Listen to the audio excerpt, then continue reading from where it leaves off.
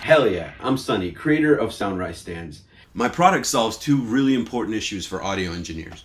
One, they decouple your speakers from your desk and dampen most vibrations before reaching your desk.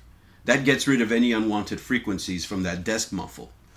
And two, you want to align your tweeters with your ears when you're sitting down so that you have a perfect stereo image. My stands give you extra room underneath to store more gear. But my biggest stand right now, which was made possible from customer input, is the Big 5. With my Big 5 stand, you can take 8, 10 inch, larger than this speakers, and the tweeter still runs flat with your ears because they don't come as high as the Pro 9.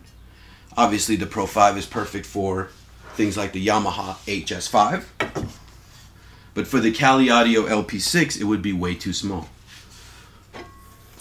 Currently, I personally use the Kali LP6.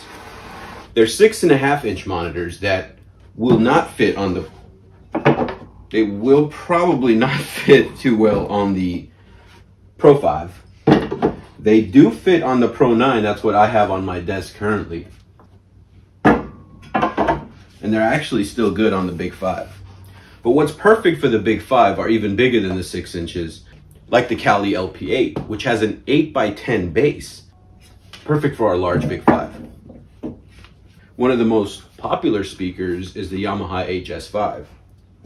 They're perfect on the Pro 5, perfect on the Pro 9, but too small for the Big 5.